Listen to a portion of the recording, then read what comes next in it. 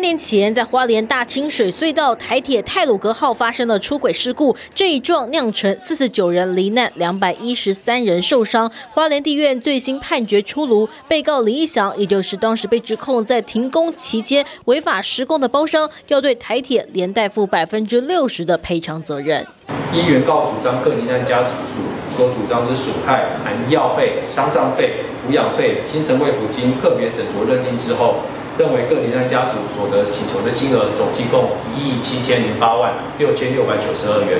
那经过与有过失之相折抵算后，再扣除原告所受强制险给付利益及旅客运送责任保险给付，认为原告可以请求原理性被告的连带赔偿之金额为两千三百二十六万六千六百九十二元。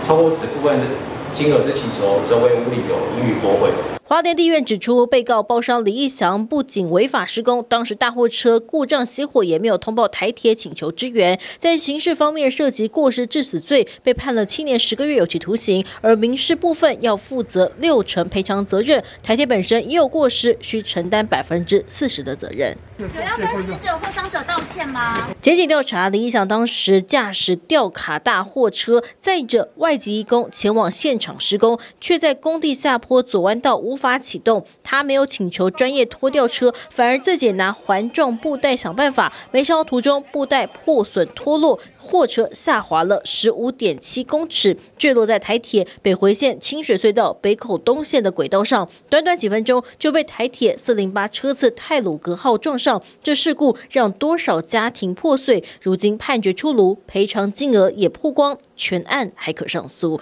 TVB 的新闻综合报道。想看最完整的新闻内容，记得下载 TVBS 新闻网 APP。